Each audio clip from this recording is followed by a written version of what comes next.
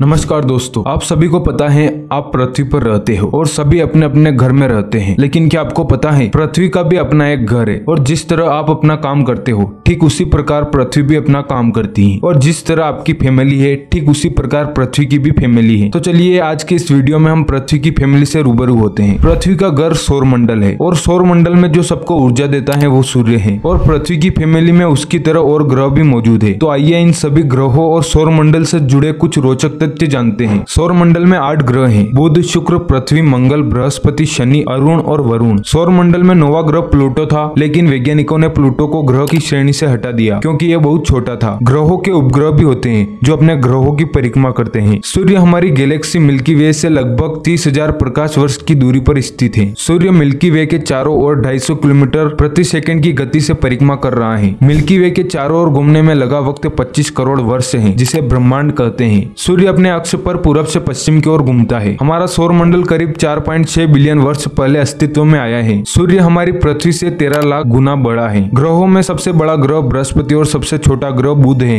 सूर्य का व्यास तेरह लाख बाणु हज़ार किलोमीटर है और यह पृथ्वी के व्यास से 110 गुना ज़्यादा है। बुध, शुक्र, शनि, बृहस्पति और मंगल, इन पाँचों ग्रहों को खुली आँखों से देखा जा सकता है और इसके ऊपर मैंने एक वीडियो भी बनाया है। आप आई बटन पे क्लिक करके इसे देख सकते हैं। शुक्र सौर मंडल का सबसे गर्म ग्रह है। सूर्य में इकहत्तर फ़ीसदी हाइड्रोजन 26.5 फ़ीसदी हीलियम 2.5 फ़ीसदी अन्य तत्व होते हैं। सौर मंडल में सूर्य और खगोली पिंड एक दूसरे के गुरुत्वाकर्षण बल में बंधे हैं। सूर्य हमारे सौर मंडल का सबसे बड़ा पिंड है। सौर मंडल में पिंडों को तीन श्रेणियों में बांटा गया है। परंपरागत ग्रह, बोने ग्रह, लघु सौर मंडलीय पिंड। परंपरा ग्रह में बुध, शुक्र, पृथ्वी, मंगल, बृहस्पति, शनि, यूरेनस और वरुण है। बोने ग्रहों में प्लूटो, एरिज, सेरस माके माके होमिया है। लघु सौर मंडलीय पिंड में धूमकेतु, उपग्रह और अन्य खगोली पिंड शामिल है। सौर मंडल में बहुत ही छोटे छोटे अरबों पिंड है, जिन्हें हम धूम केतु या पुच्छल तारे कहते हैं। चंद्रमा छह ग्रहों और तीन बोने ग्रहों की परिक्रमा करता है। तो दोस्तों, ये थे सौर मंडल से जुड़े हुए कुछ रोचक फैक्ट्स फैक्ट्स अच्छे लगे हो तो वीडियो को लाइक शेयर और चैनल को सब्सक्राइब करें। मिलते हैं अगले वीडियो में, तब तक जय हिंद, जय भारत।